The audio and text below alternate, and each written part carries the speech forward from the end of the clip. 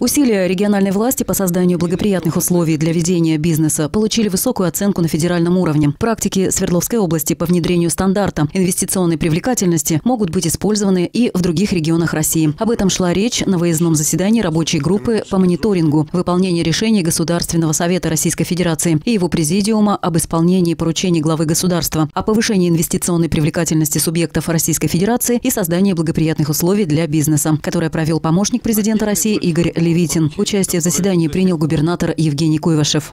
Мы все время говорим, вот э, нужны деньги, бизнес не идет, э, бизнес боится, есть риски.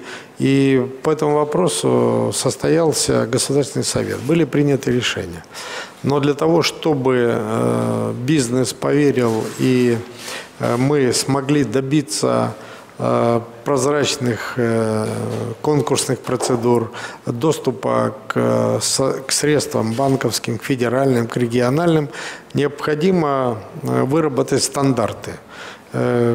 Агентство стратегических инициатив по поручению президента вместе с субъектами Российской Федерации вот в течение этого года, прошедшего после Госсовета, это было уже год прошел, работали в каждом регионе. И если вы слышали по докладам, только в половине субъектов Российской Федерации эта работа завершена.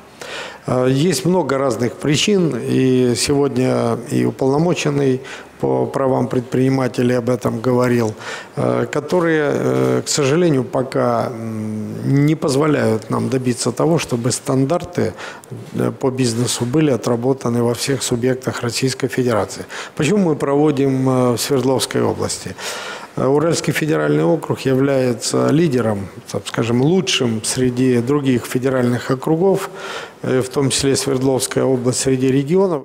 По словам помощника президента Российской Федерации, именно этот фактор повлиял на выбор Екатеринбурга в качестве площадки для первого заседания рабочей группы по выполнению поручений президента в сфере создания благоприятных условий для бизнеса. Генеральный директор агентства стратегических инициатив Андрей Никитин добавил, что Свердловская область – это один из немногих регионов, демонстрирующих лучшие практики внедрения стандарта инвестиционной привлекательности, которые могут быть взяты за образец для применения в других субъектах Российской Федерации. В частности, интересен опыт региона в сфере создания доступной инфраструктуры, технопарков, бизнес-инкубаторов, внедрению процедуры оценки регулирующего воздействия для ликвидации избыточных административных барьеров бизнесу. Губернатор Евгений Куйвашев познакомил участников заседания с наработками региона по улучшению бизнес-климата и мерами поддержки инвесторов. Сегодня перед нами стоит новая задача – это глубокая модернизация промышленной базы региона и упрочение межрегиональной кооперации, реализации программ импортозамещения и создание условий роста предпринимательства.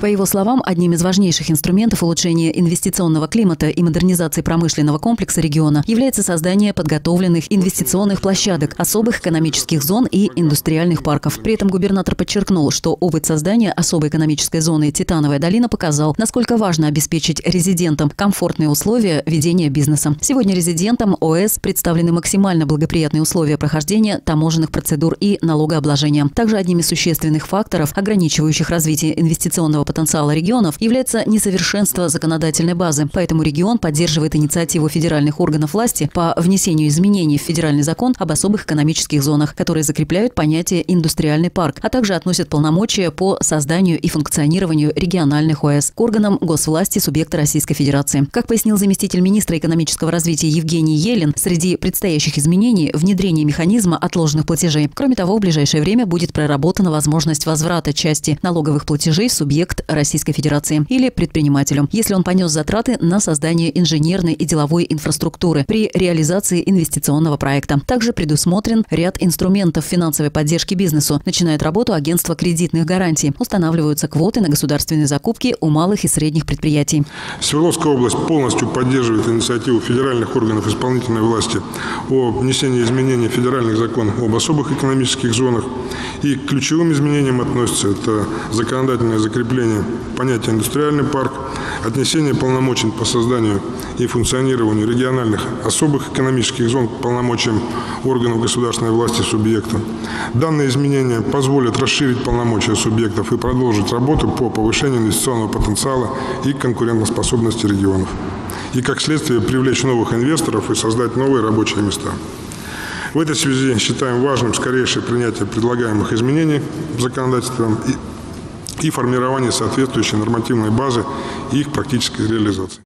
Губернатор отметил, что за последние три года на создание ОС «Титановая долина» выделены средства бюджета Свердловской области в объеме 951 миллион рублей. Сегодня созданы условия для выхода на площадку первых резидентов. В июне 2014 года «Титановая долина» и корпорация ВСМПО «Ависма» подписали соглашение о проекте строительства производственного комплекса для механической обработки титановых деталей. В июле начнется строительство объекта. Евгений Куйвашев рассказал участникам заседания об опыте создания индустриальных парков в Свердловской области. Так он отметил, что индустриальный парк Богословский позволит преодолеть преодолеть монозависимость Краснотурьинска, эффективнее противостоять колебаниям на мировых рынках металлов, создать не менее 1400 рабочих мест, поддержать малый и средний бизнес. Со своей стороны Игорь Левитин поблагодарил губернатора за организацию заседаний рабочей группы. Он отметил, что итоговые решения найдут отражение в докладе главе государства.